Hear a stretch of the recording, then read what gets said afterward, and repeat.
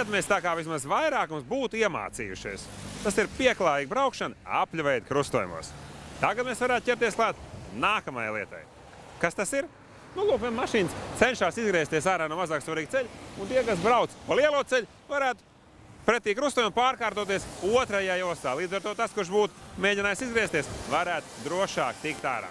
Bet tas vēl jāmācās. Tā, ar ko sāksim? Atcerieties laikus, kad apguvām rāvēslēdzēju principu. To nu tagad jau daudzās vietās ievērojam, un šur tur pa ceļu norādes atgādina, ka būtu jauki ievērot rāvēslēdzēju principu. Tas, ko gribu uzsākt šodien, ir kas līdzīgs, bet bez apstāšanās uz galvenā ceļa. Pirmais, kas jāiegaumē, šī lieta darbojas tikai uz ceļa ar vismaz divām braukšanas joslām vienā virzienā. Kāpēc?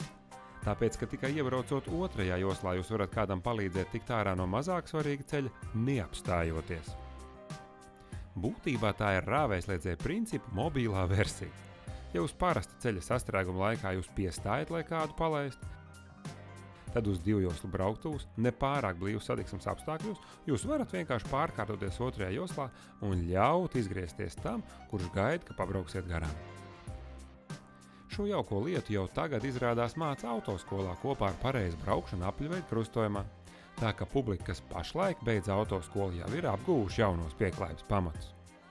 Taču neaizmirsīsim, ka visi šie manevri nav obligāti, un vadītājiem savā starpā ir jābūt nu vismaz acu kontaktam, lai novērtētu savstarpējo pieklājību.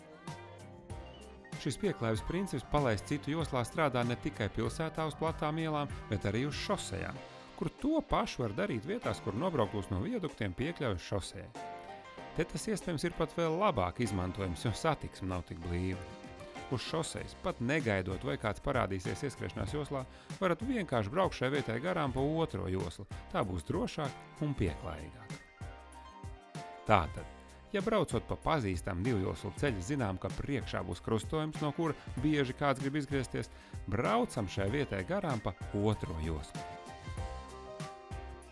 Nu, ko grūti jau tas nav, taču zināmu piedomāšanu prasa. Braucot pa ceļu, atcerieties, ka tur būs krustojums, palaist kādu garām, pārkāpties otrā joslā, pēc tam atbraukt apakaļ pirmajā. Taču to kopumā sauc par empātiju, spēju iejusties otrādā, tā, kurš mēģina izgriezties galvenā ceļa. Un es ceru, ka jums šīs spējas pietiks.